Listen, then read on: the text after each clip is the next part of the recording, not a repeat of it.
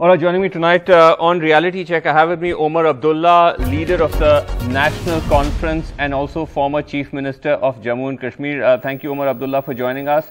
Uh, Omar Abdullah, I've been seeing uh, you've been tweeting your concerns about this uh, encounter. You've also been uh, sitting in protest today.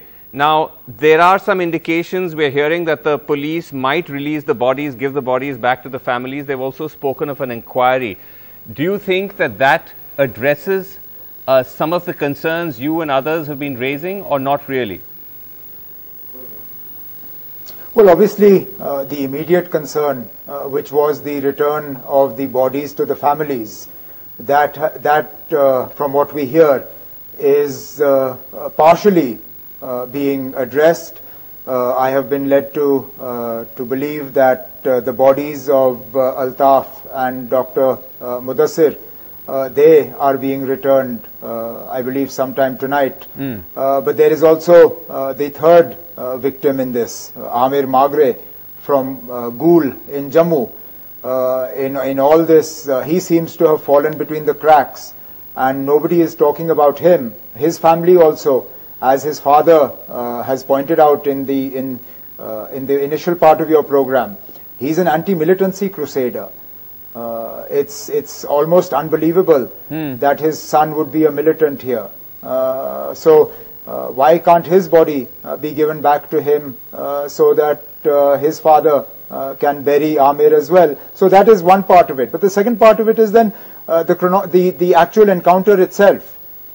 the fact that there have been multiple versions of events given out by the police, but what uh, we what I understand from talking to the families, from talking to other people, is quite simple. Mm. Uh, these people, uh, one was a landlord of that building, one was a tenant of the building, a third person worked uh, for one of the tenants. They were taken into that building uh, more than once. They were used to knock on doors, and uh, in effect, they were used as human shields. And then they they died in in that process and uh, they were passed off as militants. And this is not the first time we've seen it, unfortunately. And therefore, uh, if uh, the uh, magistrate is brave enough uh, to establish the truth and come out with the truth, then so be it. But I fear uh, that the current climate in Jammu and Kashmir is such mm. that it will take an extremely brave serving officer to actually stick his neck out or her neck out and come out with the truth. And therefore, uh, as the uh, as other political parties today have demanded, including my father and, and others within his uh, political his, within the People's Alliance for Gupkar declaration, this magisterial inquiry uh, needs to be upgraded to a judicial inquiry, and and the facts need to be uh, made known to the people. Right. I think that actually was something that's that's quite disturbing. This idea about taking them door to door, almost using them as a human shield.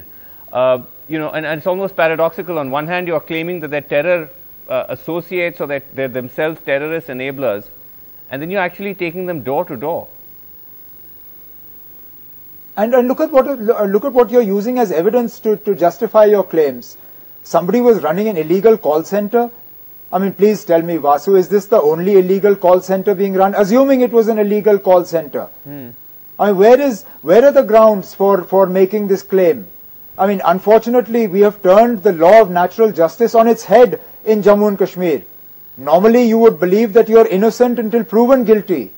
But over the last few years, we have found that guilt is first, uh, uh, is first claimed and innocence has to be established. And therefore, uh, as far as the authorities are concerned, they've already established that this was an illegal call center that was being used for anti-national and, and militancy-related activities. Yeah. And now it's for the families of the dead person to prove that that wasn't the case. But that's not the way justice is supposed to work.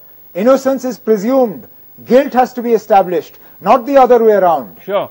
And and you know, even if one can contest uh, the, the claims, the families oftentimes do come out and say, look, you know, these people were innocent and so on.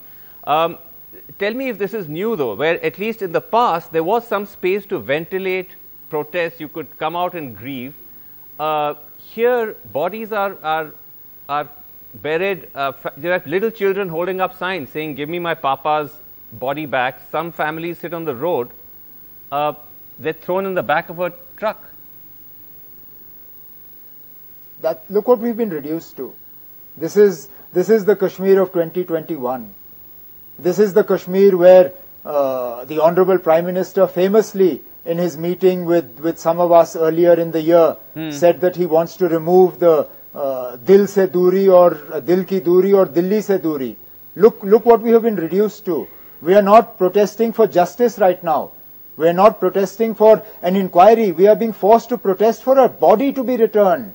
And for a body that the police itself says was of a person who was killed in crossfire. Hmm. So it's not as if the families are protesting for the dead body of a militant, which in itself would be justified. Right. In this case, the family has been forced, and some of us have been forced to, to, to, to join with them so that they get justice. And not for anything else, but to have their bodies returned right. so that they can be buried uh, with the family present. I mean, that's what we've been reduced to in the in the Kashmir of 2021. But um, just last question: uh, that what do you think? Where, I mean, where is this coming from? Because uh, there has been an uptick on violence. There have been the targeted killing of of minorities. Uh, uh, you know, security forces could argue that listen, uh, we have to get proactive, and and we need to sort of you know root out this this new dangerous turn that things have taken. Uh, is, is, it, is it coming from that space or, or you believe that there are too many questions here? Is this the first government that is dealing with militancy? Militancy or terror is not the product of the last three years. Hmm. We have been dealing with it since 1988. But the uncontrolled use of force and, and the way in which the uh, events are covered up, this is unacceptable. Look, we all know, we've all been parts of, part of governments where mistakes have happened.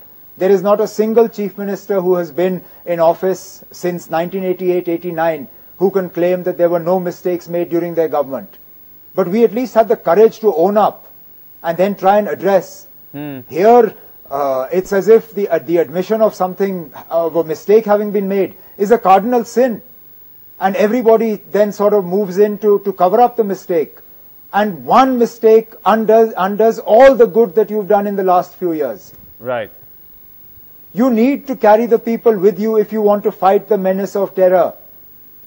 You're not going to be able to fight it without the people with you. Please understand the successes that you had after 1996, the successes yeah. that you had after 2014. Yeah. You had those successes because you carried the people with you. The fact that you were able to clear Srinagar of militancy when I was chief minister, that we were able to demolish more than 40 bunkers in Srinagar. It was because we carried the population with us. Right. They were part of our, our fight to normalize the situation.